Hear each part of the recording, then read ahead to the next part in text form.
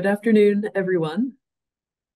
Thanks to each and every one of you for being here today for a talk by Professor Norman Sadeh entitled Privacy in the Age of AI and the Internet of Things.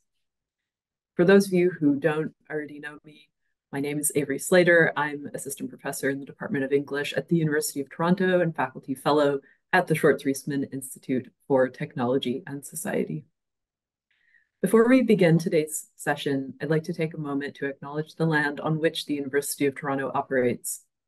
For thousands of years, Toronto has been the traditional land of the Huron-Wendat, the Seneca, and most recently, the Mississaugas of the Credit River. Today, this land is still home to many Indigenous people working to reclaim their rights to self-determination. We're grateful to have the opportunity to live and work on this land Although we may all be joining from different places, we invite you to reflect on the history and relations of the land that you're on. A few logistics before we begin. The session is being recorded. Our guest will speak for about 50 to 60 minutes, followed by a question and answer period. Um, if you have burning questions that you want to ask midway, you can put those in the chat and we'll see if we can get to them. Um, most of the questions will be saved for the end. And during the Q&A, we encourage all participants to uh, join in. You can use the raise hand function in the Zoom meeting controls to ask a question. You can also write questions in the chat. So I'd like to introduce today's speaker, Norman Sadeh. Norman Sadeh is professor in the School of Computer Science at Carnegie Mellon University. He is director of CMU's Mobile Commerce Laboratory and its e-supply chain management laboratory, co-founder of the school's PhD program in societal computing, and co-director of the MSIT program in privacy engineering. He also co-founded and directs the MBA track in technology leadership, launched jointly by the Tepper School of Business and the School of Computer Science in 2005. Norman's primary research focus has been in the area of mobile and pervasive computing, cybersecurity, online privacy, user-oriented machine learning, and semantic web technologies, with a particular focus on mobile and social networking. He has author, authored over 200 scientific publications and is author of M-Commerce, Technologies, Services, and Business Models, a best-selling book published by Wiley in April of 2002. Norman is well known for his seminal work in AI planning and scheduling, agent-based supply chain management, workflow management, automated trading and negotiation, including the original design and launch of the International Supply Chain Trading Agent Competition. Products based on his research have been deployed and commercialized by organizations such as IBM, Raytheon, Mitsubishi, Boeing, Numetrics, iLog, and the US Army.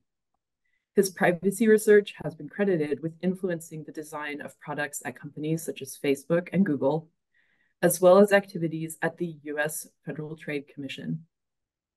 Between 2008 and 2011, Professor Sadeh served as founding CEO of Wombat Security Technologies, a leading provider of innovative cybersecurity training products and anti-phishing solutions, originally developed as part of research with several of his colleagues at CMU. So uh, without further ado, Norman, the floor is yours. We're really looking forward to your presentation. Thank you very much, Avery, for, for this nice introduction. And thank you for uh, reading such a long bio. I thought I'd actually send something shorter, but really appreciate it. Let me see if I can share my screen now. And here we go. So good afternoon, everyone, and, and thank you for having me here. Uh, I'd like to see if we can start uh, with uh, a little bit of an interactive uh, session here. So I'm going to ask you to pretend for a minute, and some of you presumably are students, and so uh, just imagine that you've graduated now, and all of a sudden you've got more money, and you decide to go ahead and purchase a car. And uh, the first thing that happens when you purchase a car is you've got to go and start shopping around for an insurance uh, company, an insurance policy. And so these insurance policies, they're not necessarily just going to give you a policy like that. They typically want to know a bit more about you and they might want to ask you a few different questions. And so I'm going to ask you to pretend for a few minutes that you're being asked different questions. And I'm going to ask you to what extent you would feel comfortable answering these questions. And I'm not asking you to tell me whether or not companies ask these questions or not today. I believe that the questions that I'm going to ask are reasonable questions that conceivably a, an insurance company, or reasonable is probably not the right term, but are questions that an insurance company could conceivably ask you. And, uh, and uh, just because those questions are correlated in some manner to uh, your risk uh, for them, risk of crashing, and also how bad those crashes might be. So uh, imagine, for instance, that uh, the insurance company that you talk to would like to know how fast you drive. And so I'm going to ask you to answer with a yes or no um, answer. Just let me know how comfortable you would be providing this information. I hope that uh, many of you uh, decide uh, to participate. Ideally, all of you, all 50 of you uh, would participate. So please raise your hand if you'd be comfortable sharing this information or give me a yes and please you know, give me a thumbs down or a no if you're not comfortable with that, and I'll try to tabulate as, as best as I can uh, the results. Okay, I'd like to see a few more answers. I've got eight right now. That's not very much. Uh, you know, we've got uh, a lot more people. I see that there are some things in the chat. Let me see what people are asking in the chat. Um, see. Okay, so tabulating in the chat is a lot more difficult. I'm just gonna eyeball it here. I think I see slightly more yeses than nos, and that seems to also be consistent with the answers I'm getting. So please do not answer in the chat if you can.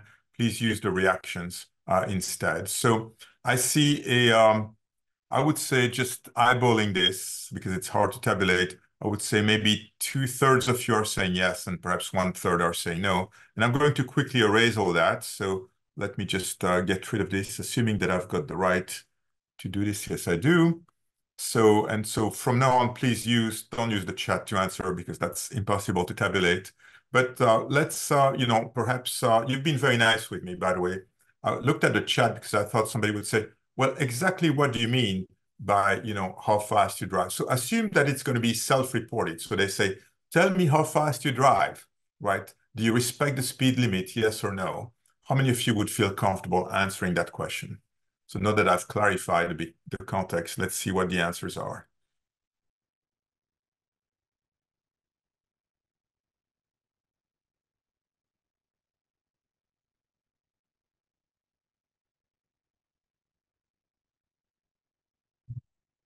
I would like to see more answers.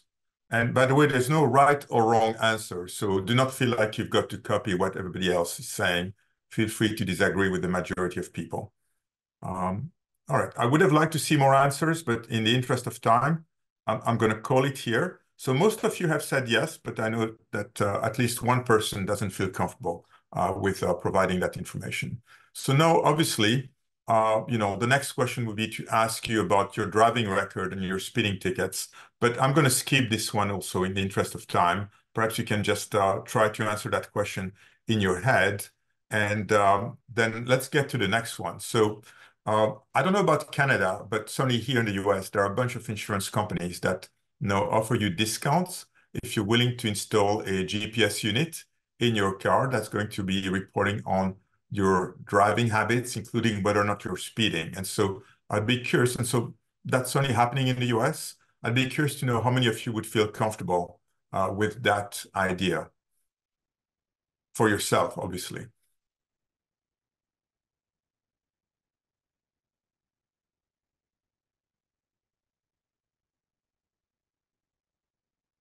Yeah, I'd like to get a few more answers if I can. Right. So now all of a sudden the tide has turned and I'm seeing uh, 13 no's or 14 no's and, and five yeses. So clearly under those assumptions, people are feeling a bit less comfortable uh, with uh, this idea. And then obviously I could go on and I could say, well, what if, you know, they didn't collect this data directly, you know, from that GPS unit, but what if they collected this data by acquiring it from data brokers who perhaps are collecting this data through a bunch of different apps on your smartphone. And we could go on and ask you know, many variations of these questions. So I'm not asking you to answer that question. I'm just going to move on to the next one right now, uh, just again in the interest of time. So suppose that, uh, you know, another key question, as I'm sure you realize, uh, you know, a major cause of accidents has to do with lack of sleep. When you sleep less, you're less responsive, right? And, and that creates more crashes, and the crashes tend to also get worse. So how many of you would feel comfortable disclosing how many hours they sleep at night? And so please raise your hand if you'd be okay with that.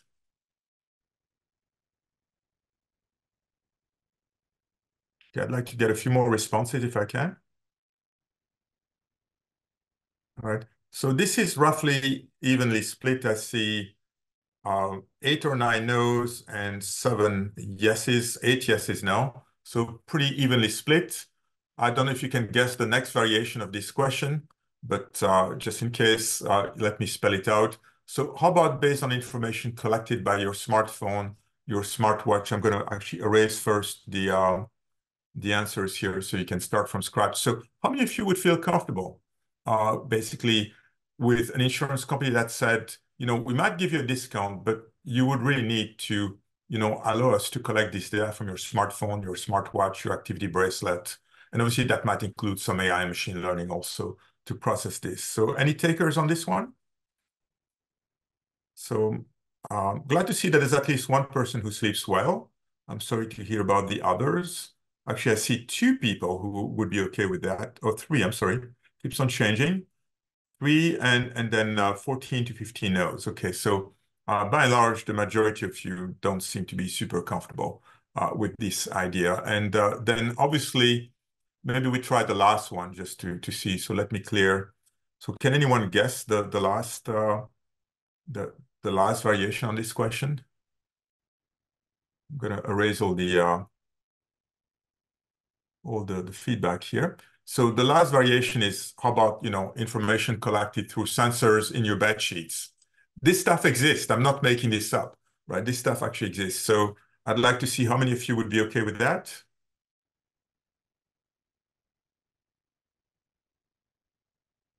One person, nice. Okay, we're going to stop here. Thank you for participating. So let's reflect a bit on what we've learned here. Uh, and so I've tried to make a few different points. So one thing I believe, and you know, there might be an exception. I saw one person saying yes uh, pretty often, but I'm not completely sure. But most of us, potentially all of us, typically all of you, I've not. I could easily ask you a few more questions, and could eventually become all of you. All of us really have reservations, at least about a subset of these scenarios. So, good news: everyone cares about privacy. So yeah, privacy is not dead.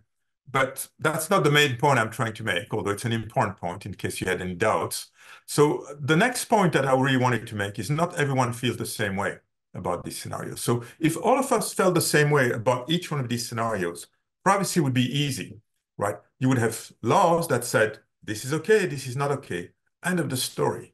But the fact that we don't all feel the same way about these things, and the fact that you yourself may not even feel the same way about this question if I were to ask it to you again tomorrow, right? Makes it make, makes privacy very challenging, as it turns out. And uh, um, and uh, it's not just what is collected, but it's also how it is collected, whether or not you're aware of that collection, whether you've provided consent, at what level of precision, for what purpose, who it might be shared with.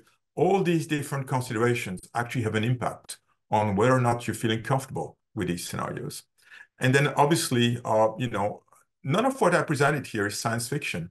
Uh, you know, these scenarios are actually happening as we speak. Not sure about the one in, with the, the bed sheets. The sensors in the bed sheets do exist mainly as uh, technologies to help you sleep better, but nothing says that, you know, this data could not be sold to a data broker and eventually find its way into information that uh, your insurance company uh, might uh, decide that they would like to purchase at some point. Insurance companies love to get a lot of information. They like to get to get it right and to figure what, what your actual risk is. And so because of this, right, uh, a, big part of privacy involves informing people and giving them some choices. And you know, I'm not going to go into turn this into a lecture about privacy laws and, and regulations, but there is a collection of principles that people refer to as fair information practices principles that are found across all the privacy laws around the world. So you find them in uh, you find them in Europe with GDPR, you find them in California with CCPA and elsewhere. And those fair information practice principles uh, include in particular the idea that if you're going to be collecting data from people and you want to act as good stewards of that data, you will want to provide people with some kind of notification. Tell them what data you collect about them, ideally for what purpose, for how long you're going to retain it, who you might be sharing it with, and so on. And ideally, you would like to give them some choices, and those choices vary a lot. So the interpretation of these principles vary a lot from one law to another. Uh, in Europe, they tend to go with what is referred to as opt-in or consent. That means that most collection scenarios cannot take place unless you've got explicit and informed consent from people whose data is going to be collected, the so-called data subjects. In the US, we tend to err more on the so-called opt-out side of the world, where it's basically the idea that you can collect whatever you want until the user decides to provide, to say, hey, please stop. And that's called opting out. And, and so one of the things that has happened over the past few years, uh, especially over the past five years, but if you look at PIPEDA, obviously the latest overhaul was in 2015. One of the things that has happened over the past few years is the introduction of increasingly stringent regulations that spell out these requirements at a finer level. So obviously, the uh, you know the big event in this space was uh, in 2018 when the European General Data Protection Regulation came into place. That law has had an impact across the world, with most countries revising their privacy laws in some way to uh, basically reflect some of these uh, more stringent requirements. Obviously, not everyone has followed the same approach.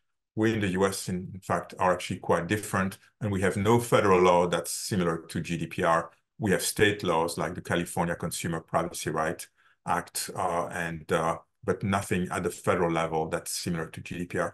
But one of the things about these new privacy laws, and this is you know what motivates a lot of our work, is the fact that they've required people to be much more specific about what data they collect, for what purpose, for how long they retain the data, who they share the data with, and uh, also requiring companies to collect data to provide end users, data subject, people whose data has been collected with more controls.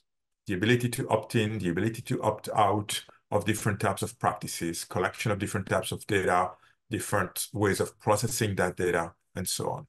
And so in many ways, right, this is all moving the right direction until you realize that, you know, the ways in which these things are implemented in practice, the notice side, for instance, of notice and choice, is typically implemented in the form of privacy policies. And I'm not going to do a show of hands here because it's going to be too depressing. But if I were to ask you, you know, if you've read a privacy policy over the past month, unless you really work in privacy, and even if you work in privacy, it's not guaranteed, I will probably get very few hands. I've asked these questions many, many times. I see somebody who raised their hand. So really glad to see that some people have read the text of a privacy policy uh, over the past month.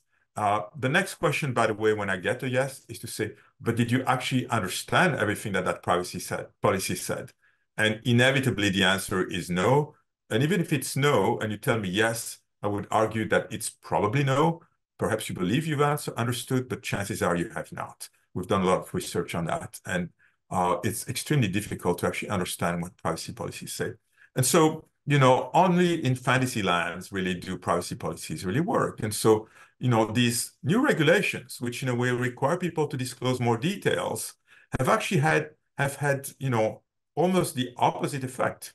Because if you look at the length of these privacy policies, GDPR by and large uh, is believed to have increased the length of typical privacy policies by about 25%. So if you're not reading these policies before, what are the chances that you're reading them now, right? And all these beautiful privacy choices that are now required, right, by, by uh, new regulations. Well, guess what? They've resulted in an explosion of privacy settings. And, you know, I could ask you, you know, whether or not you've looked at the privacy settings on your cell phone recently, whether you know all these settings, whether you're comfortable with them. The quick answer is the vast majority of people do not even know that these settings exist the vast majority of people just don't have the time, the motivation to play with these settings. And so the, the, the conclusion here is that while we've made great progress over the past few years in terms of regulating this space, these regulations are still highly unrealistic in terms of what people can actually do, what people can realistically be expected to do, right? And so at the end of the day, there's a real human bottleneck here that's not yet properly addressed. this lack of expertise, the fact that we're unable to read privacy policies, even if we're paid, and actually understand what they say, a lack of time. Obviously, who's got the time to read all these privacy policies? A lack of attention. Privacy is known as a secondary task, which means that you're always doing something else that in your mind tends to be more important as you make privacy decisions. For instance, downloading that mobile app so that you can start playing that video game your friends have told you about, that's your primary task. Those privacy settings, those privacy considerations, you tend to dismiss that. There are a variety of different cognitive and behavioral biases that have been studied that show that people tend to discount these things and dismiss those long-term consequences that are a lot less obvious. And so there's a very, very big challenge in this space. And we've been asking ourselves, uh, as well as others, right, have been asking themselves, well, how can we alleviate this situation? And part of this obviously involves probably coming up with even more stringent requirements. And if you look at regulations, and I've been, you know, saying that they're not that great, if you look at GDPR, you look at CCPA, CPRA, these regulations actually do have some provisions for trying to overcome these challenges. They require, CCPA, for instance, requires you to make opt-out choices more visible, and they require you to do other things that are increasing a little bit the usability. But we're very, very far from actually bridging the bridge, uh, you know, overcoming the bridge between the gap between what is required in these regulations and what people can really, really do. And so at the end of the day, when you think about this at a high level, you can try to come up with technologies that will help people uh, overcome these challenges. You can try to come up with regulations, inform public policies, and we do a lot of that based on our research. We're trying to see how far we can go with technologies, but we also tell regulators, look, there's a limit as to how far you can go here. Perhaps the regulations need to be more specific about how some of these things are going to be done, how you're going to present this information, you're going to expose these choices to users. And there's a need to obviously educate the public. I'm not going to talk about that last part very much today, but I'll talk about the other two uh, parts uh, and how our research over the years has attempted to contribute to these two different approaches to alleviating uh, some of these uh, challenges. So uh, one line of work that we've been engaged in for a little over 10 years now uh, is effectively about answering the question, what if computers understood the text of privacy policies? If people don't have the time or motivation to read policy policies, could we somehow get computers to do this for them? And if we did, what sort of functionality could we start offering people that could potentially help them regain control over their data do a better job at regaining a sense of, of, of control over their data. And so going back, you know, 10 years ago, the sorts of things that we're doing, uh, this was all before Gen AI, is would recruit uh, annotators, typically people with a legal background, and would ask them to annotate privacy policies, identify different types of disclosures in these privacy policies. You see here different colors being used to uh, basically represent different types of data practices identified in the text of the privacy policy. So what is represented here to the right in that vertical bar is actually a full privacy policy with different segments of this policy and different colors being used to represent different types of disclosures, disclosures related to what is referred to as first-party collection, meaning what is this site, in this case, the New Yorker, telling us about what data they collect and for what purpose, third-party sharing collection, in this color here in green, what does this privacy policy say about, you know, who data is being shared with, uh, what types of user choices are available, and so on. And so we, we collected a lot of these annotations and over time build uh, increasingly sophisticated uh, classifiers to see whether we could automatically read the text of policies and recognize these types of statements. And uh, achieving actually, even before Gen AI, a fairly decent accuracy on uh, many different types of practices. Obviously, some questions and some issues are easier to automatically identify than others, and I'll discuss that a bit more in a few minutes. Uh, but those are the kinds of things that we did. And then at some point, we uh, published a website where people could navigate about 7,000 different privacy policies that we had automatically annotated with our classifiers. And, and so that was fun. Uh, we certainly got a good amount of press uh, coverage. I like this one because, uh, you know, uh, it's really interesting. So this was by Fast Company, and they had an article in the bottom, bottom, part, bottom part of the, the, the website here. You're never going to read that privacy policy. Could AI help? And they were talking about our technology. But interestingly enough, they had just changed their privacy policy also. And so above that, they had, we have updated our privacy policy, which I thought was uh, fairly ironic. So I'd like to show this slide. Uh, so in a way, uh, showing how useful perhaps this sort of technology could could be, but also uh, the fact that even though they were writing articles about us, they had not necessarily changed their practices. So how about building really practical tools based on the ability to automatically understand the text of privacy policy? So what are the kinds of things that we can do? Well, one of the early things that we built uh, was, for instance, a, um, a technology in the form of a browser extension, which is actually available today in the Google Chrome's uh, store. Uh, so you can basically download it and, and install it on, on in your Google uh, Chrome uh, browser.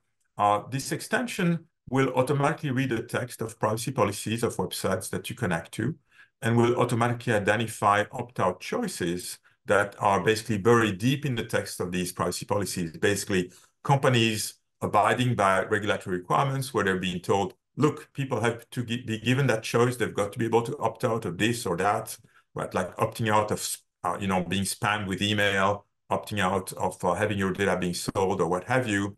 But, you know, if these choices are very deep in a privacy policy and nobody reads a privacy policy, this amounts to not doing anything, in fact. And so with this browser extension, we can actually identify, uh, you know, more than 90% of the time, uh, choices that are being offered. We can classify these choices, and then we can present them to users in a way in which they can readily take advantage of them. So this is what this uh, uh, extension uh, looks like. So these are examples of simple technologies that you can very quickly develop if you've got technology that can read privacy policies. But we've gone a lot beyond that. Uh, so for instance, one thing that we quickly realized is that, you know, if you can read the text of privacy policies automatically, and perhaps you have access to the code of a technology, such as mobile apps, for instance. So mobile apps, Android apps in particular, they're basically Java code. They're pretty easy to decompile. And so what if I could, you know, compare the code of a mobile app with the privacy policy of that mobile app and potentially look for discrepancies, right? Or look for statements that are not necessarily compliant with what the regulations require. If I could do that, then automatically I would be able to do automated compliance analysis. And that could be very useful. Could be useful for regulators, which hardly have any resources to do this thing. These things. It could be useful for app stores, right? Which definitely bear some responsibility for all these apps that they publish. Could also be useful for developers themselves before they get in trouble with the law. You know, help them identify potential compliance issues because their privacy policy doesn't do a good job at disclosing some of these practices. And so uh, we've done that. And, uh, you know, we actually ran in uh, 2018 an analysis of over a million apps on the Google Play Store, a million and 35,000 apps. And, um, you know, what did we discover? Well, we discovered that about over 600,000 of those, that, that, that, that number of a million apps, over 600,000 of those apps were likely non-compliant. We could not tell for sure. You always need to vet these results manually, double check the code, double check manually that you know your classifier did the right job at identifying those disclosures or lack of disclosures. Uh, and we did that actually for obviously a subset of those million apps. We could not manually vet uh, the analysis for million apps, but we actually did vet that with some regulators, worked with the uh, Federal Trade Commission, for instance, and also the California Attorney General. And uh, in fact, discovered that this analysis was pretty accurate. On average, an app had about 3.47 uh, uh, regulatory uh, compliance, potential compliance issues. Median was about three. So that gives you a, a sense for how useful this sort of technology can be. And in fact, nowadays, uh, you've got uh, a company like Google, for instance, has a, a product that they've developed that's based in part on, on this research. And um, Google actually funded some of this work at, at Carnegie Mellon. so we've shared results with regulators. We've also helped companies use this tool to find issues before it was too late. And uh, nowadays, some of these tools are being commercialized and also used by, regulators. What's interesting is when you look, uh, you know, at uh, these these types of analysis on a large scale, you can quickly zoom in also on what it is that mobile app developers struggle with the most. And our analysis has systematically shown that in the case of mobile apps, what people struggle with the most when it comes to properly disclosing their practices is the use of third-party libraries. So uh, developers have a terrible time understanding what is a third-party library, understanding that often when you know they share data with these third-party libraries, uh, that sharing has to be disclosed in, in their privacy policy, like disclose sharing your location. even something as simple as an app collecting the location of a user, for instance, and then displaying that location on Google Maps, even if it's an Android app, and in the mind of developers, it's all Google. But in truth, it is not, right? So Google Maps is a third party. If you're going to be displaying that location information in Google Maps, that is something that you've got to disclose in your privacy policy. And so that's a, a, very, very big source of confusion for developers, as it turns out. And we found all sorts of other things and uh, encourage App Store operators to provide better support to developers. The developers, uh, there are tons of them. This is the beauty of, of the mobile app ecosystem. They've made an environment, they created an environment where it's very easy for random people to start building apps.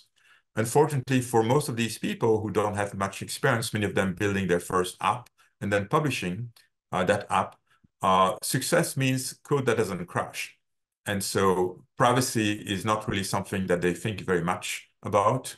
And so we've been encouraging and worked actually with some app stores to uh, basically tell them that, look, at the end of the day, you are the more sophisticated organization here. You have a responsibility to provide better support to these developers and uh, with, with some success. We've also built ourselves tools to help developers. So obviously, if you can start looking at the code of a mobile app and you can understand what this app does, they not why not you know help uh, developers build their privacy policy. And so we've built tools to do that. We've done the same things for privacy labels. So privacy labels are an interesting development, actually directly influenced uh, from research by research at Carnegie Mellon. So uh, my uh, collaborators and I uh, over the years have worked on uh, privacy labels. The idea originated with my colleague, Lorrie Cranor, and a PhD student that we co-advised. And in particular, we showed that if mobile apps had privacy labels, basically labels that similar to nutrition labels would provide succinct summary of the data that's being collected by an app and what is being done with that data, people would be much more likely to pay attention.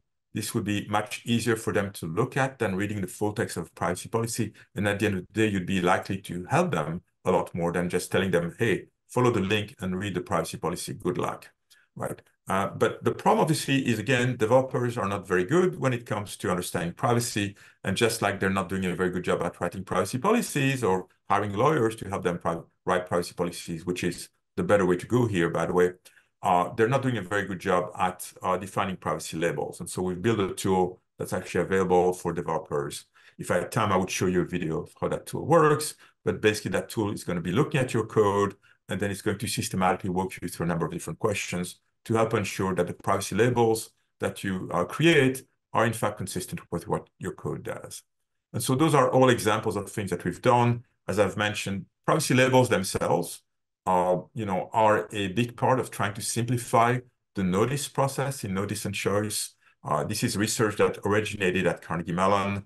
Uh, we published a paper in 2013 with the PhD student that we uh, uh co-advised, Lorrie and I, uh, and that paper basically showed that if mobile apps, you know, had labels, this could make a very big difference for users, and it would end up probably making very different types of privacy decisions. And in 2019, fall of 2018, we got a call from Apple saying, hey, we read your papers, we like the idea. We're going to go ahead and, and, and deploy that. So that's another way in which your research has actually influenced uh, some of the things that uh, you find uh, out there.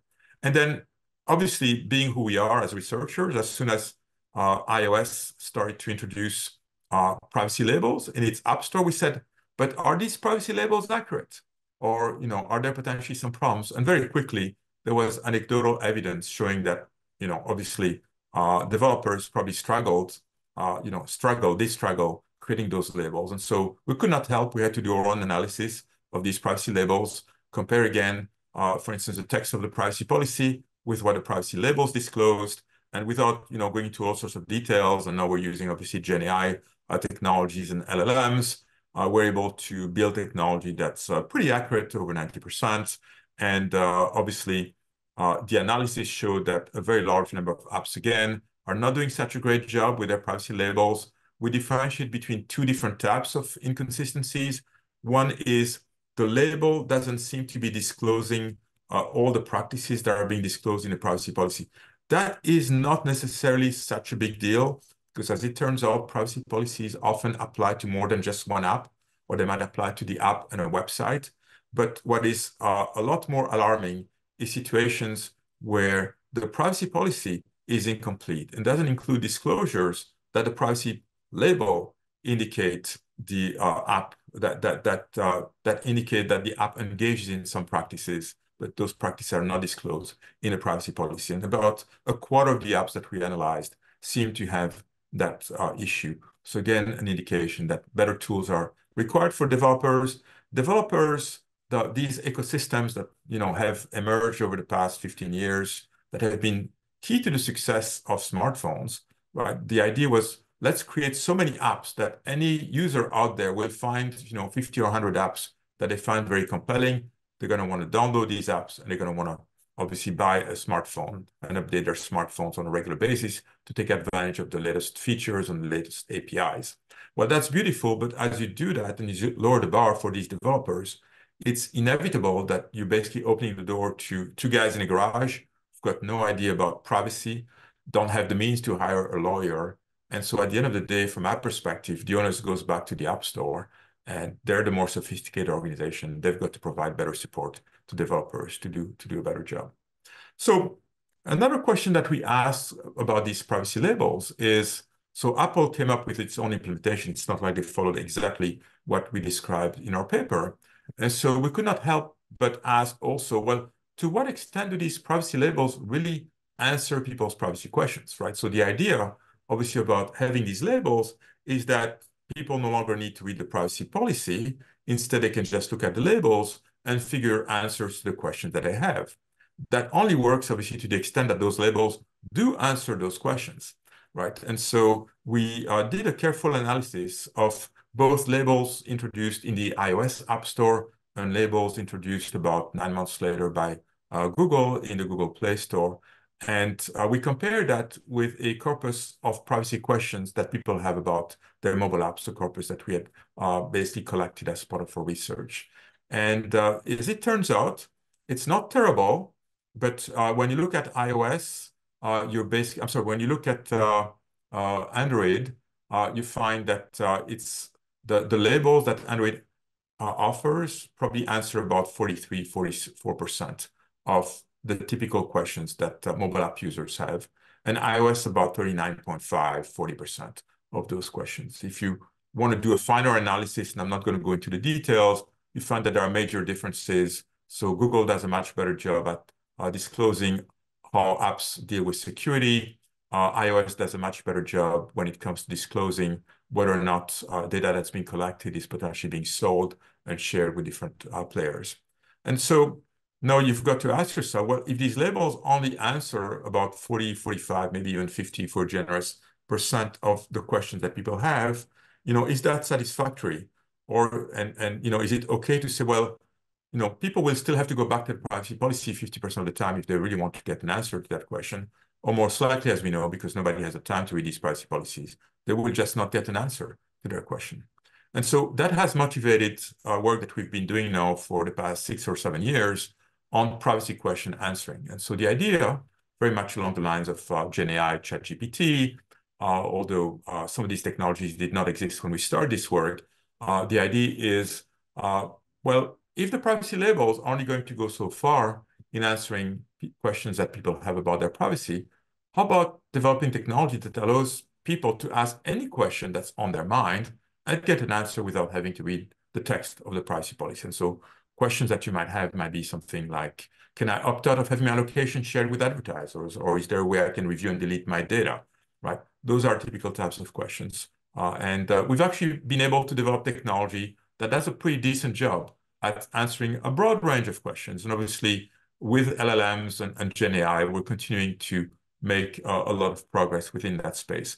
But there are also limits to how far these tools can go today. And as it turns out, privacy policies, as I said, are not that easy to read and uh, to understand, even for GenAI tools. Uh, for instance, in the context of privacy, if you read the text of a privacy policy, which is the basis for obviously our privacy answering functionality, there is a lot of reliance on uh, pseudonyms, hypernyms, hypernyms, right? So for instance, you might have a privacy policy that talks about GPS data, but the user asked a question about whether or not their location was being collected. GenAI will typically know that GPS and location are related, so that's an easy one. But the privacy policy, on the other hand, might talk about the fact that the app collects your whereabouts. No, is that your location? Yes or no? There's a good chance that this actually means your location. Is GenAI able to make that connection? Most of the time, it's not. Or, you know, how about, you know, answering a question about, does this app collect, you know, health information about me? And the app somewhere discloses that it collects data about how you commute to work, such as driving versus biking, right? Is that health information? Yes or no? And as you can see here, very quickly, we get into a gray area where you might need to even make some assumptions about what is legitimate health information, what is not. And so uh, when you ask those types of questions to GenAI uh, tools today, they have no clue. Uh, but the biggest challenge for GenAI has to do with the fact that privacy policies, which are written by lawyers typically, right, are doing a very good job at only disclosing the things that you're required to disclose by law. And so most of these privacy policies tend to be silent about all sorts of different issues because the law doesn't require them to necessarily disclose explicitly what they do in that regard. It's actually very interesting to see how people read the text of these privacy policies. Uh, most of the time when you ask someone, does this app engage in this practice and the policy is silent, people will say, well, it doesn't say anything about it, therefore it must not engage in that practice. The correct answer is it depends. If the jurisdiction that you know you're falling under requires this app to disclose that they're engaging in this practice if they do, and the policy is silent, then the implication is that probably they're not engaging in that practice because if they did, they would have to disclose it in their policy. But if there is no law that says that you've got to disclose this information, then the correct answer is there's no way to tell. They could be engaging in that practice because there's nothing that requires them to disclose this in their privacy policy. So that's an example where you reach the limit of what today's Gen AI tools are capable of doing. Doesn't mean that they could not improve. This chart here shows you how common these issues arise. So this is looking at seven very common, in fact, uh, seven of the most common privacy questions that people have when they ask questions about their, their mobile apps. And as you can see here, right, uh, the, um, the, the bar that's being displayed, I believe this color is red. I'm slightly colorblind, but I believe this is red. This corresponds to silence, right? So this corresponds to situation. This is looking at the privacy policies of 30 different mobile apps, right? This tells you how often, in fact, these privacy policies might be silent about some of these questions. Uh, the other interesting one is implicit positive. Implicit positive, so these are annotations from law students reading, being paid to read the text of these privacy policies, right? And so they've been able to infer that the, the app engaged in this practice, but only by reasoning about hyponyms, hypernyms, pseudonyms, even what we call hypo-pseudonyms and hyper-pseudonyms, and I will not go into the definition of these terms, but it gets very hairy very quickly. And GenAI tools today have uh, struggled really a lot when it comes to answering those types of questions. So some of our ongoing work, and we've actually had some some good success, but nothing published yet. Hopefully, sometime soon. Uh, you know, has uh, basically led us to an approach where we're actually able to do a better job. This is a combination of prompt engineering and uh, you know um, uh, few shot learning, as it's called, where you provide a bit more information to these tools to help them come up with more accurate answers. What we're trying to do ultimately is we're trying to provide people with more meaningful answers. Rather than saying yes or no, we're trying to come up with answers like, this privacy policy does not indicate whether your location data is shared with advertisers. Given that under CCPA, let's say that this is someone from California asking a question, this information would have to be disclosed. It is likely that this app does not engage in this practice. Obviously, this assumes that the privacy policy is compliant which we feel is an important thing to state because as we know, not all privacy policies are compliant. And so we believe that those are ultimately the sorts of answers that you know will provide the most value uh, to people. So um, trying to see here if there are any questions so far.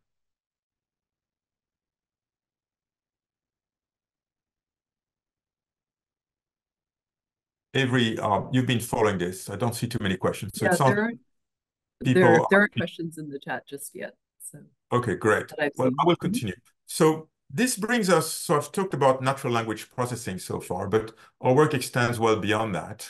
Uh, and uh, in fact, a lot of our work falls under the umbrella of what we call privacy assistance. And so our vision here is that, you know, these regulations that I said at the beginning of this lecture, you know, are definitely helping. There are more options that are being provided to people. There are more details that are being provided to people. But yet there's this huge gap between, you know, what people are capable of doing and what is presumably offered uh, to them. And so we strongly believe that technology is needed to bridge that gap, that you can build privacy assistance like the question answering assistance that I was just describing a minute ago to basically help people take advantage of all this additional information, for instance, that's provided in notices and make that information readily accessible to people so that they can just ask their question and you answer their questions based on the text of privacy policies, but without requiring them to read the text of the privacy policies. And so we've been looking also at how can we help people configure all these privacy settings that are available to them, right? The perfect example, which I think we're all familiar with, are you know these cookie pop-ups that you keep on seeing every time you go to a new website, and they ask you whether or not you know you should you would like to just restrict uh, the, the, the the installation of cookies to the absolutely necessary cookies, uh, or whether you would like to also or whether you'd be okay also with marketing cookies, cookies used for analytics, uh, etc. Is there anything more annoying than that? Most of us keep on answering, you know, the same way, or at least if we had the time and energy, would keep on answering the same answer over and over again. In my case, it's please just give me the minimum set of cookies and that's it. I don't want more. You may have a different view, but chances are that your answers are the same.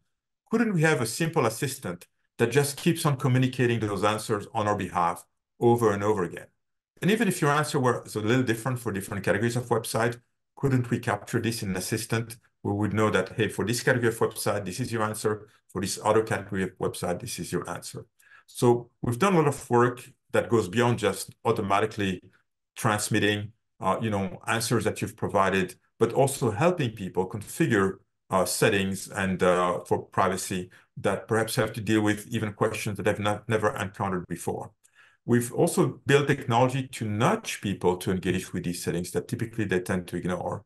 And we've also built technology in the IoT space where things are even more challenging than with mobile apps because in the case of mobile apps, in principle, you know that these apps are on your phone. At least you downloaded them at some point. And you know, if you open your phone, you can actually find them. You may have to scroll through a few different screens, but you can eventually find those apps. In the IT world, it's a little different because there might be a camera, a microphone, or other devices collecting data about you, and you may not even know that they're there. You may not even notice them, and you may not, and chances are you have no idea how to potentially interact with them to read a privacy policy. So nudging users is uh, an area uh, that's a little different from what I've talked about so far, but we've also had uh, a lot of uh, interesting results and where we've influenced our practice uh, in this space. So what you're seeing to the left here is, in fact, a screen that was used in an experiment we ran about 10 years ago now. Uh, we had noticed that nobody was engaging with their privacy settings, and so we decided to see whether we could nudge people. And nudging is about not forcing people to do certain things, but enticing them to perhaps you know consider things that they had not considered, giving them the motivation perhaps that they need to do something that ultimately will be to their benefit right? So not engaging your privacy settings, in the short run, it may feel great. You're feeling that you're saving time. In the long run, once you find that, hey, uh, you know, there's somebody who denied me, you know, health insurance or, you know, my premium for my uh, auto insurance, uh, you know, went up, auto insurance policy went up, perhaps as a result of some of these data being collected, then all of a sudden you wish you had, you know, taken the five minutes or the two minutes to modify your settings and to prevent some of these data from being collected. And so this uh, screen that you see to the left is a real screen that a real user saw in this study. In this study, I think we recruited, I think it was about 40 people. And uh, we uh, presented them with technology that uh, did not exist at the time. I mean, some of these things exist today and might look very familiar. At the time, this was not available. We had actually, we had to jailbreak Android to make this technology available to users. And um, and so we had a real user whose data had been collected 5,398 times, and this became the title actually of, of the paper we eventually published at CHI, which is one of the uh, top HCI conferences. Your location has been shared 5,398 times. Uh, as always, for those of you who submit papers to scientific conferences, we're actually a little late in analyzing our data when we picked the title of this paper. And so we had only analyzed data for a couple of subjects, and we thought that 5,398 times was a big number. By the time we finished the analysis after submitting the abstract and submitted the paper, we had actually discovered that was actually the user whose data had been collected the least in that experiment. And so these were days where, uh, and this still happens today, uh, your data can get collected at a very, very high level of frequency. So in this particular case, Groupon was, I think, collecting your location data every two minutes, even if just running in the background. And so when you show a screen like this to people, all of a sudden, even if they had never engaged with their settings, all of a sudden they're very tempting to take a look. It's like 5,398 times. Hmm, that's a little surprising. Maybe there's something I should change. And you make it super easy for them to directly land on the screen where they can modify their settings. All of a sudden, you see some very significant changes in behavior. I'm not going to go into all the details of this study, but we basically show that users were extremely receptive to these uh, notifications, viewed them as being extremely beneficial and informative, with a large number of them following the advice, going and looking at their settings, and in fact restricting many of their settings and reporting being very happy with those changes, even if you check with them several days later and in fact entice them to take another look and perhaps revise their settings. They would not necessarily, they would, most of them would not modify anything. And so eventually in uh, 2019, for instance, iOS introduced technology that's very similar. You might recognize, you know, this is um, uh, iOS 13, uh, but other organizations, Facebook actually has a introduced uh, somewhat similar types of nudges as well. Uh, and so this eventually caught on. It always takes a few years before industry, you know, adopts some of these things. But we've actually gone beyond that. If you look at the number of privacy settings that you've got to configure on your cell phone, it's a pretty large number. As I've mentioned earlier, most users have between 50 and 100 apps on their cell phones. And these apps have, you know, two or three different privacy settings. So before you know it, you do the math and you realize that you might have to configure maybe 150, 200 different privacy settings. So even if I nudge you, who's got really the time to do this? And so we asked ourselves to what extent we could potentially help people uh, configure their settings, not by doing this on their behalf, which would take away this, you know, obviously super important concept of agency and control, which is really part of privacy. So we don't want to make those decisions for you most of the time, but we thought, hey, perhaps we can give you recommendations. And so even using super simple machine learning techniques like clustering, we're actually able to identify a small number of profiles that enabled us to make many predictions, extremely accurate predictions about the types of settings different users would want. And so that led us to eventually publishing an app in the Google Play Store where people were asked five different questions about their, uh, you know, how they felt about different scenarios and based on their answers, we then recommend that they change some of their settings. So what you see here on the right-hand side is basically recommendations. So we not change the settings on their behalf, but we tell them very quickly that, hey, these are things that don't seem to be consistent with your preferences. You might want to review that. And we gave them the option of modifying each one of these recommendations they wanted to, or to accept them in bulk, or to accept them after modifying some of the recommendation. That, again, proved extremely successful we did uh, a bunch of pilots uh, prior to releasing this in the Google Play Store, and people reported that this made their lives a lot easier. They landed with settings they felt a lot more comfortable with. Even if we nudged them later on to modify their settings, they reported not modifying most of their settings because they felt much more comfortable with the recommendations that we had made and that they had accepted. So that's another example in which you can actually help users. And we believe that this has a lot of potential as well, though nobody has actually implemented this just yet. Some companies I'm not going to name uh, have actually implemented uh, these things and uh, got very close to deploying them, but then marketing got involved and decided that you know they were concerned too many people start opting out of things that enable them to collect a lot of data, and they decided not to proceed with that. And I'm not going to name some of these companies. So this is you know what we've done in the mobile space. But over the next few minutes before wrapping up, I'd like to briefly you know ask the question about well, how about IoT? How about the Internet of Things? As I've mentioned earlier, well, on mobile phones, it's still relatively easy. In principle, you're the one who downloaded most of these apps. You should know that they're there. You can find them. They show up on your screen, and you can potentially access all these settings. In you know IoT scenarios, like video cameras and video analytics, right? The state of the art is this sign, right? And I'm not going to do a show of hands because I think I know the answer. But you know, how many of you are likely to notice this sign? I mean, some of us sometimes do know this, but often you do not. And you know, can you tell based on this sign whether this includes facial recognition? Maybe you can, but I certainly cannot. Uh, what about facial expression, or you know, uh, uh, what about uh, you know your your mood, for instance? Uh, can you tell for how long this data is going to be retained? How do you opt in or opt out if there's a requirement to opt out, like in California, for instance? Uh, you need to be able to opt out of this uh, uh, collection if some of this data is used for marketing uh, purposes or being sold to third parties. And uh, you know, more generally, can you tell whether this is GDPR compliant? Obviously, in, in, in Canada, can you tell whether this is PIPEDA compliant? No, you cannot, right? And so there's clearly a big gap in this space.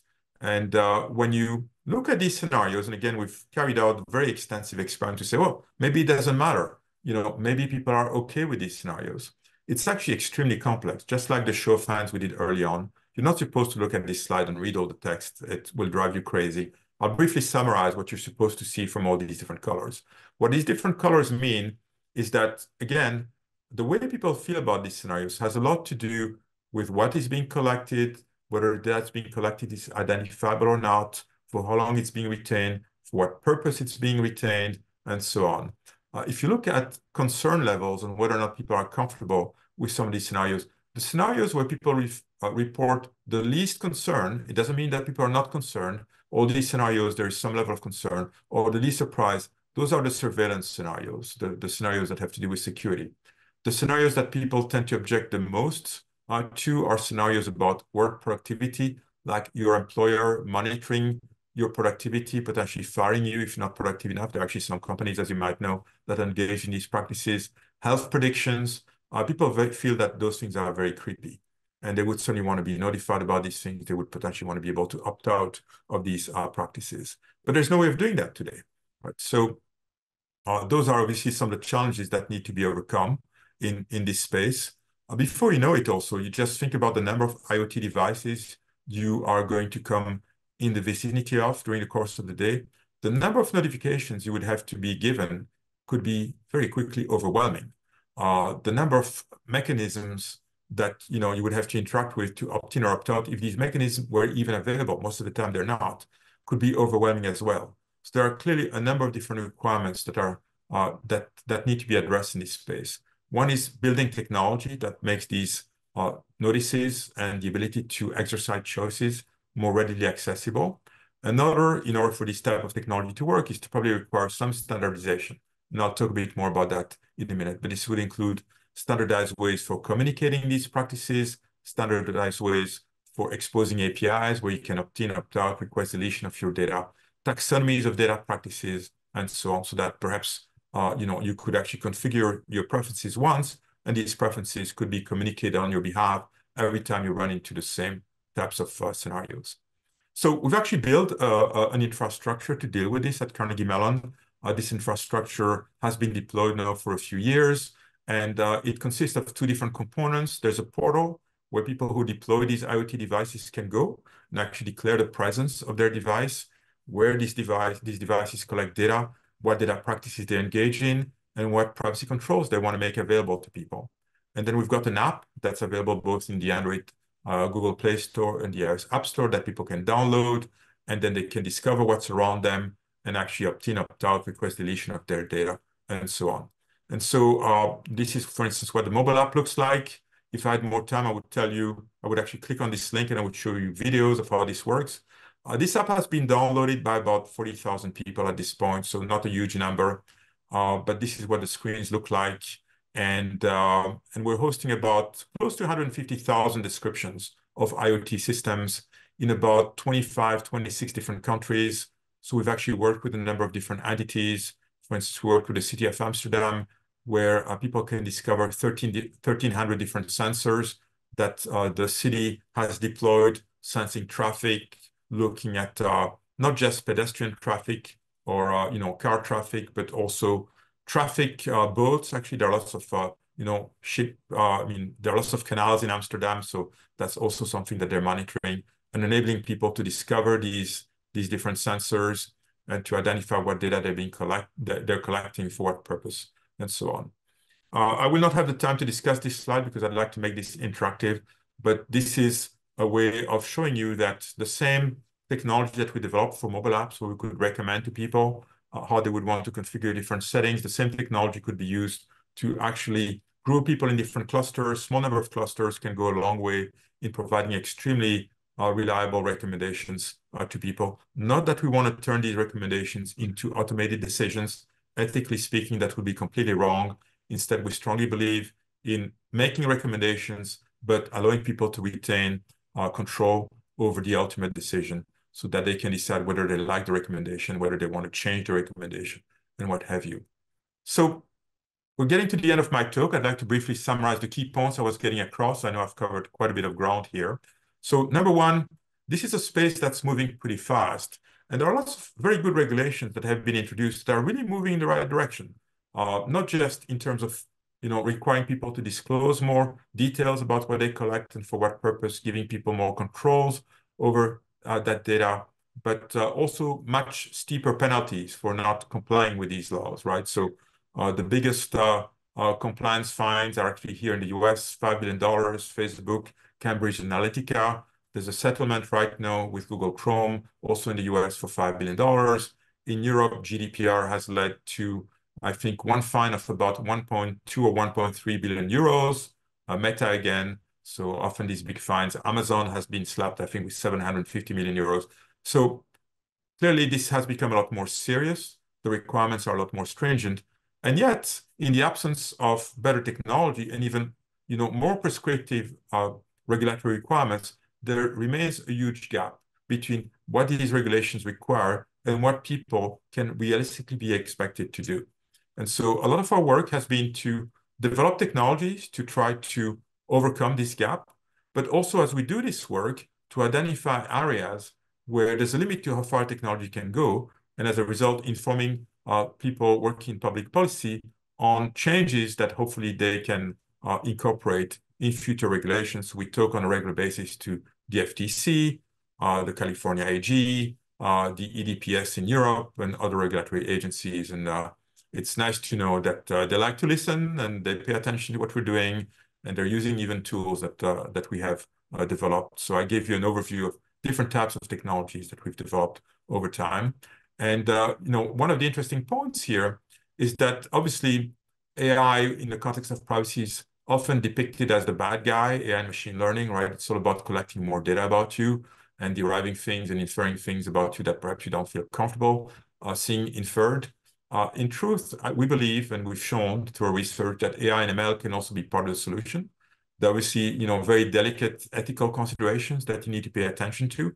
At the end of the day, a lot of our work involved carrying out human subject studies, where we try to really see how people feel, whether they view some of these technologies and the way in which we configure them as being beneficial, or whether or not we need to modify some of these configurations. And so obviously human subject studies, really understanding how people react and respond to these technologies is a big part of doing things right, and not something that's fully reflected today in our regulations. Uh, examples of technologies that I presented that require further regulation, in my view, include obviously communication of controls uh, that users are presumably being given access to. I think there's a big need to standardize these things. I've mentioned the, the, the the cookies that get installed in your browser. I've shown you the examples with IoT resources collecting your data. If we had ways of standardizing this, we could actually deploy technologies like the ones I've described more readily, and the world would be a better place in my view. And so I'm going to thank you now for your attention, and I'd be happy to uh, uh, take uh, your questions as well or, or chat with you. Thank you so much. Um, this is a wonderful talk on such an important topic, and it is clear that you've already made the world a better place. Thank you for this work.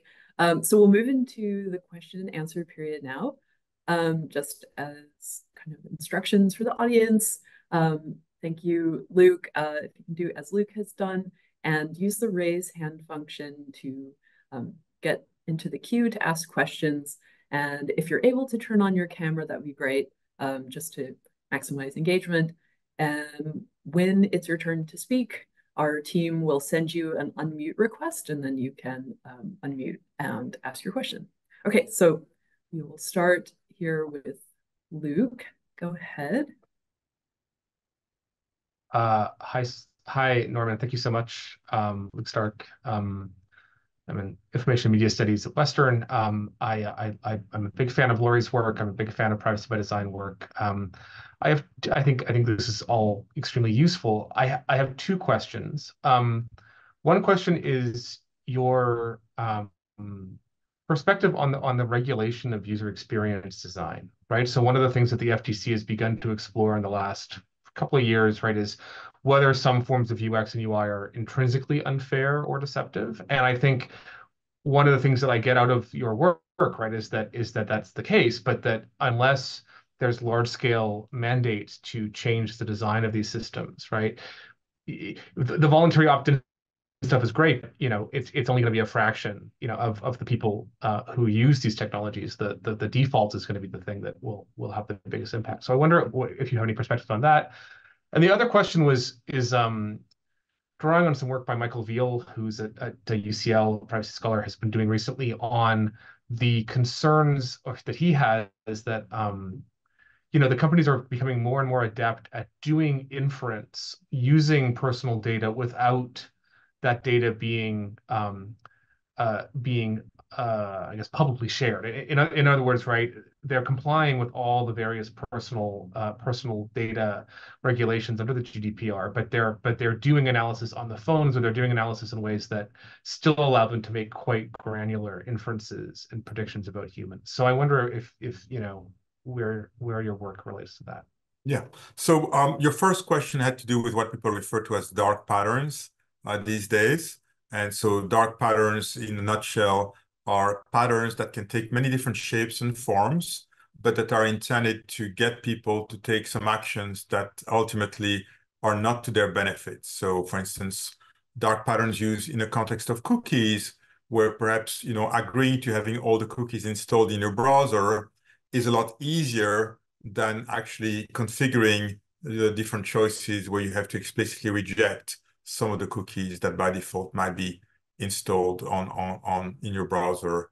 Uh, and so uh, these dark patterns can take the, the, the shape of uh, processes that require more steps for you to potentially opt out of some of the practices, defaults that are by, you know, that are going to be privacy invasive. Europe doesn't allow for those types of defaults. In the US, we're a lot more permissive when it comes to that. It also includes just highlighting a button uh, you know, uh, that itself has an impact on how people behave. So we've done a lot of work in that space. Uh, for instance, going back to, uh, you know, maybe 2015 also, where we looked at uh, nine different ways of disclosing the fact that a mobile app collects your location information and showing that, uh, you know, depending on how this is worded, people are going to respond very, very differently. I mean, we're talking about statistically significant differences in people's responses just based on how far you go in telling them the implications of their decisions.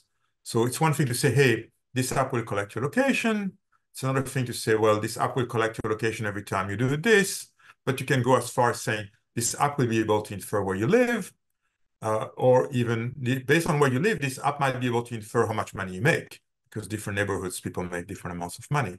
And so uh, people are uh, extremely sensitive to these types of manipulations. And as a result, it's very hard to define exactly what a dark pattern is, uh, uh at least if you rely just purely on text. But there are regulations. I mean, I think you mentioned GDPR, you mentioned CCPA.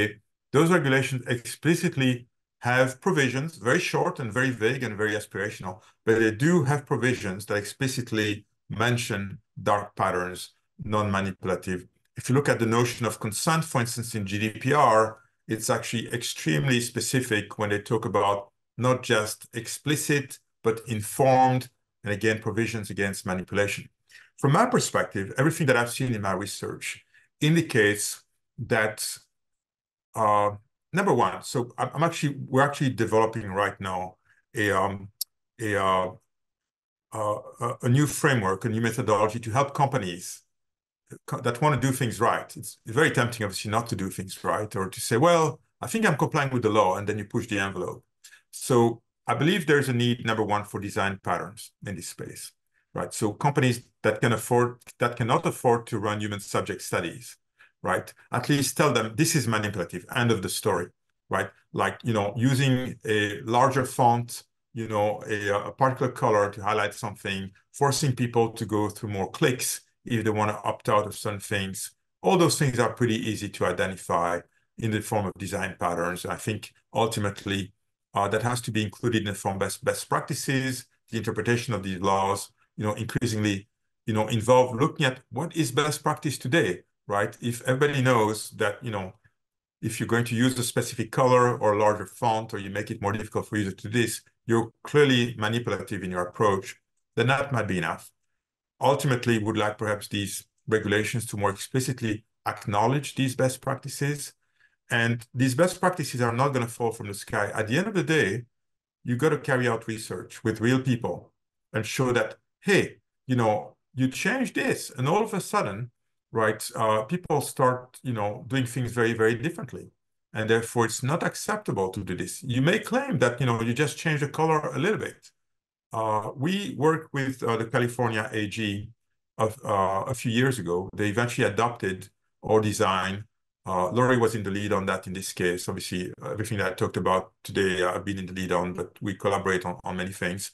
Uh, we we uh, ended up designing the, the, the, the, logo and the text that's used and that's required now by the California law, the California privacy law, CCPA, to tell people that they've got some privacy choices and to opt out of the sale of their information. That work was uh, actually a huge amount of work, right? So we had we piloted a number of different designs for those of you who might have seen that paper. And then after doing all the work, we sent the Cali AG the results of our work to say, this is the one. And they said, thank you so much. We really appreciate all the hard work. This is really impressive. And by the way, we made this slide change and we're going to go ahead with this slide change of the work, but thank you so much for your work. This is all based on your work. And we said, hold on a sec here. That very slight change might actually be very meaningful, but actually not in a good way. And we tested it and we showed that that slight change, where they basically changed a little bit the design, a little bit the color, right? All of a sudden, people perceive this as being completely different. And so there's nothing like running human subject studies. The design patterns will only go so far, but design patterns can go a long way, I think, in informing uh, practice for many companies that cannot afford to run these human subject studies. So hopefully that answers your question. All right, good. Maybe we should give somebody else a chance to ask a question. That's really interesting answer. Um, so next is Dave. Dave, if you're able to unmute. Yeah, okay, great. All right. Can you hear me? I can. Hello, how are you? Good, thanks. All right. So um so I'm calling in from the middle of Silicon Valley, about three miles from Apple, about five miles from Google. And I've been in the industry for 34 years, so I have some insight, uh, hardware and software side, on what actually goes on. Um, and I've already posted my question in writing, but uh, um, I I, this this topic of privacy comes up a lot, and I'm always amazed at how people are not aware that whenever you go to a web page, even if you're incognito, so no cookies, everything blocked, even if you use DuckDuckGo, doesn't matter. Most there's something called a web fingerprint because browsers are two way. They're giving all kinds of um, graphics and formatting things to make it work. It's functional stuff, but it makes you completely unique. the yes. server that receives your web page request to display the web page knows your browser from anybody else's browser to within like one in a million or one in 10 million at least or better. And, and that's without even your IP address. So as soon as they've got your IP address, which they have to have, otherwise it doesn't work, um, they know who you are. Yes. So, so the sh- ship has sailed. I mean, the only way to actually be private is not to use the internet.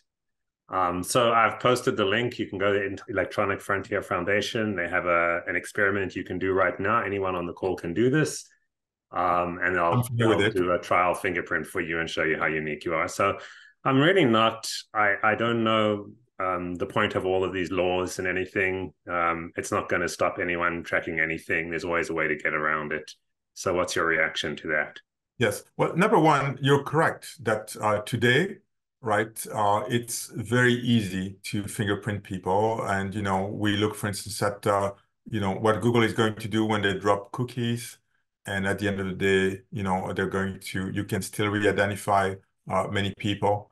Uh, you know, in fact, I think 100% of people pretty much can be re-identified or at least a very large percentage. There's just so much data out there. So I, I don't disagree with you that the situation is very challenging uh, today. And I believe that, uh, you know, it, it might very well remain challenging for the foreseeable future, but it doesn't mean that we cannot push back against that. Uh, and so I believe that uh, uh, the regulatory requirements that you have in place today already are forcing uh, actors to be, uh, you know, a lot more rigorous in terms of what they're collecting, disclosing what they're collecting, how it can be used, right? And it's not just about technology. The fact that something can be done technically doesn't mean that you're allowed to do it, right? So these disclosure requirements basically say, I don't care if technically speaking you're allowed to do this. If your privacy policy doesn't state that you're doing it, and if the regulation under which you're falling, you know, requires you to disclose these practices, then you're not allowed to do it, right? And and you may need to obtain consent in order to do it. And so there is also that aspect of these regulations. And so if these companies engage in these practices because they technically can, but you know they've not obtained consent to do these things and the laws require them to obtain consent, then they are in trouble and we have tools to go after them. Does it mean that every single instance where this is going to happen is going to be caught? Today, it's very tough for regulators to keep up, right? They're, they're lacking the tools to do these things. And, you know, people like us and our, you know, others, EFF is a good organization that does a lot of work in this space too. We're trying to develop tools to identify these things, to raise awareness, uh, to automatically identify these practices, and then, you know, trying to help regulators so that they are more likely to fall on those people who engage in practices they're not they're not supposed to engage in. Does this answer your question?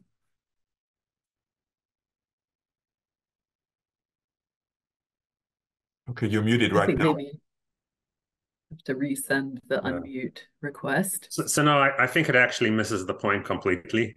Okay. Uh, maybe I didn't make it clearly. Um, the, the company receiving a web request doesn't need to track my name and my address in order to know my demographic in order to market to me. They can just assign me a number and call it one, two, three, four, five. And they know my age, they know my shoe size, they know everything I search all day long, and they can market away happily. So it doesn't it doesn't infringe any privacy law on the planet planet. That, Well, that's what is actually happening in the industry. well, they don't care what your name is. Right. Now, I'm quite familiar with that. Uh, Yeah. but not what, what you're saying here is not necessarily entirely true. And it depends on, on the regulations that are going to apply. I think, you know, if all they do is identify who you are based on only data that they've collected about you and nobody else, and they've collected this only through their own properties, then under most regulations, uh, you know, that will probably be okay. Under some regulations, perhaps they need consent. But I think the scenario that you outlined was a little different, and maybe I'm just reading between the lines. But it sounded also that some of the data that they might have about you was acquired from third parties. And all of a sudden they learn more about you because that data was being acquired. The regulations that are coming out, and it's not uniform by any stretch of the imagination, but the regulations that are coming out are trying to place some restrictions, are trying to increase people's awareness, are trying to enable people to potentially request the, the, the deletion of some of that data. And so I'm not saying it's perfect, far from that, but I don't think that, uh, you know, we're not accomplishing anything. I think there is movement in the right direction. It's a journey, it's not a destination. I don't think privacy will ever be 100%. It could be the case that it's only going to get worse overall, right? Like in security, there's a lot of research being done in security. We're making a ton of progress, and yet every year the situation is worse. Privacy could very well be one of those. It's clear that we're up against some very challenging technologies, and there's a whole design space of ways of invading people's privacy, and regulation is playing catch up in many ways. So I don't disagree with that part does this do a better job at answering your question? Thanks so much. I think because we have uh, two more people, oh, three. Uh, let's move on to the next. Uh, we've only got 10 more minutes, if that's all right. We'll move on to uh, David Quispe. Um, Uchenna Ukwu is next, and then we might be able to fit in Jamie Sandhu.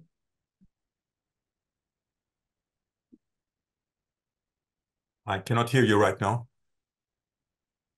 Um, that actually might be you're unmuted, but the audio source might be might be the I'm headphones not very good issue. at not very good at lip reading. We can give you another minute, David, to sort out the audio source. We'll go to Uchenna Ugwu and we'll come right back to you, David. Okay. All right. Uchenna, are you ready? Yep. Okay. Great. Hello. All right, I think I'm unmuted now. Thanks. Thanks, Norman. That was a very interesting presentation. and it was a very eye-opening. What I'd like to ask about the privacy assistant technology is how affordable will it be, especially for the SMEs, the small and medium enterprises that are starting up? Because um, the presumption is that if they need to put in these things in place, and also the end users, it's going to cost more money. It might discourage some of the newer startups from being able to say, okay, let's start up those that are at a, at a smaller scale than Google and Microsoft and all the rest, and say, okay, let's start up, and then we have to add this again to the numerous burdens of rules we've got to obey. So is it affordable? And if it's not, you know, what can be done about it from a policy So there, perspective? well, thank you for asking this question. It's a very interesting question. And, and there are multiple uh, sides to the answer I, I need to give you. So number one, you're raising the question of who should be deploying this technology? And, your question assumed that the companies that collect your data would be responsible for deploying those privacy assistants. That's certainly one possibility. But uh, my preferred scenario, and I'm not saying this is the only scenario, so you might have companies that decide that they want to have their own privacy assistant supporting, for instance, question answering functionality like the one I described. My preferred scenario is a scenario where the privacy assistant is offered by a neutral third party that only cares about your privacy. And, and perhaps they need to make money. I would like that third party to be in charge of my privacy assistant because I think they're going to be more neutral, ideally, right? I think they're going to help me do a better job. They're, they're going to help me understand what, you know, is written between the lines in that privacy policy. They're going to help me interpret silence. As a company, right, if, if my privacy policy is silent about some issues because my attorneys have said, you don't need to disclose that, the laws don't require you to, to, to, to say what you're doing in that regard. They don't require you to be that specific. Well, a privacy assistant that's, you know, working for a third party whose interest is solely, you know, my, my well-being, my privacy, my understanding of what's going on, that assistant, you know, can be developed in such a way that's going to actually read between the lines and tell me how to interpret the silence, the silence that I'm talking about, just along the lines of the example I gave uh, of, you know, a few slides beyond before the end of my talk. Another advantage potentially of this privacy assistant is that it could then, you know, reuse some of my preferences across multiple websites, multiple apps, right? And there are very, very strong correlations, as it turns out, right? So, uh, you know, the way you feel about sharing your location with some entities and, and having that, you know, information being shared with advertisers probably is not going to change an awful lot as you move from one app to another or even to website. So there is that advantage uh, also. Uh, now, there's a final part to the question that you've asked, and I know that all these answers are very long, but there is still a burden potentially for uh, the uh, people who collect the data, the so-called data controllers, if you use the terminology of the European General Data Protection Regulation. And, and those requirements would have to do with these additional requirements that ideally, you know, I would like regulators to impose. Uh, and, uh, you know, occasionally regulators listen to us. It typically takes many years, but we're seeing some progress. So for instance, here in the US, until a year ago, there was um, a proposal in Congress that had bipartisan support that was known as ADPPA, uh, the American Data Protection Privacy Act. And it almost passed until California decided to block it. They didn't like it because it was going to be preemptive, preventing people in California from passing their own laws. But that actually had provisions for uh, some of the standards that I'm advocating. Standards, for instance, to communicate choices that are being made available uh, to people, and chance, uh, standards for people to communicate back their choices, right? So if you, for instance, if you look at CCPA, the California Privacy Protection Act, right, it's got this opt-out choice. Well, right now, it's a very tedious process to actually take advantage of that choice. There is no reason why there couldn't be a protocol that would enable me to communicate these choices as I move from one website to another. If my preferences are pretty much always the same, right? I could actually store that preference once on my in my assistant on my phone, for instance, or in my browser, and that could be communicated over and over again, sig significantly reducing user burden, obviously. And so in this case, the burden would be on the data collector in the sense that they would need to now offer APIs that are capable of processing those signals, communicating those practices in a standardized manner, and handling my request in a standardized manner. So there would still be a cost, right? So, uh, you know, that's obviously typical of regulations. They never come for free. Okay, I think so. We've only got four minutes left. We do have a hard stop at 2 p.m. Um, but Jamie, if you have a quick version of that, uh, your question. Oh, sorry, David. Uh, I don't know if David's still. David Crispy, whoever come, comes in first. But, um, can't see David. Okay, go. Um, yeah, thanks for providing the time, Norman. It was really good discussion. It made me wish that it was something that was more widely broadcast for the general public to be listening in on I think it would be very effective. Um, I did feel that your presentation, though, kind of focused more in a corporate perspective, expectations on corporations to do certain things to ensure privacy is kind of upheld. Um, and while governments are good at producing regulation that are very robust and very detailed in the interests of the public, um, how much expectation should we put on government ourselves to join in on this um, conversation and also participate more in detail. Um, for instance, a simple example what is a cookie? Uh, the government could simply produce a kind of educational campaign, whether that's through advertisements, to provide the general public with a base level understanding of these things that they're interacting with rather than leaving it onto the companies themselves. So I guess that's my question to you in, in the work you've been doing, the engagement you've been doing with stakeholders. While government is interested in listening to this conversation and learning from you, how much of that interest actually translates into actual, um, you know, real world um, deployment of educational tools? And I know you decided to not to skip the educational component of all this because it is a huge topic, but I do feel it is the the, the pillars that really hold it all in balance. So um, you're actually pointing to exactly the right slide I was going to mention. So clearly you, you, you noticed that at the beginning of the talk, I said there are three different dimensions. So a lot of our technical work, which is what I spend most of my time talking about today, is actually saying, well, you know, let's take the world as it exists today and see if we can build technologies that help overcome the gap between, you know, what regulations offer and what, you know, and how people interpret these regulations and what people are capable of doing.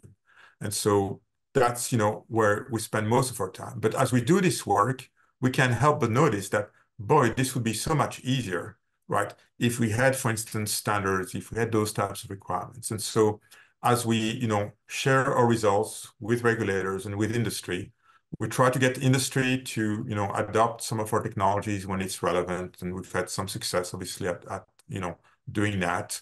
Uh, we try to get regulators to think about some of the things we're discovering and trying to influence you know, future regulations, and we've had some success in that space. It takes many years, and it's not, it's never something that we do on our own, right? We're part of a community. You know, sometimes we're the first ones to mention certain things. Sometimes others mention certain things first, and then others do more experiments to further substantiate what you've discovered. And then over time, you know, regulators start thinking that, hey, maybe there's a point there, and maybe the political climate is such that some of these things can find their way into into new laws and regulations and and you know the speed at which these things move can be extremely slow sometimes you know it's possible that some of the things we do will never be adopted.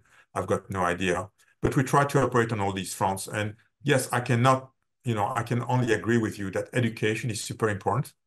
Education will never get us there 100% uh, but uh, we do actually a lot of work. So just uh, two weeks ago privacy day right january 28th we organized a big event here in pittsburgh at uh, the public libraries to educate the public at large and you know show them how to uh, actually do exactly what one of the previous uh, people who asked me a question was talking about, showing them how easy they are to be re-identified. We use a QR code that people could scan with their cell phone, showing them how unique their cell phone was and, and the likelihood they could be re-identified and, and those types of things. We help them configure their browsers. We help them understand if all these things are needed. And you need to increasingly, I mean, the the world is becoming increasingly complex, right? So Uh, we have experiments where we've shown, you know, how many people don't even understand incognito browsing, right? Uh, and, and those kinds of things. So things that you would believe, you know, are understood and yet people don't understand. And, you know, that was actually the basis for that uh, Google Chrome settlement recently, people not realizing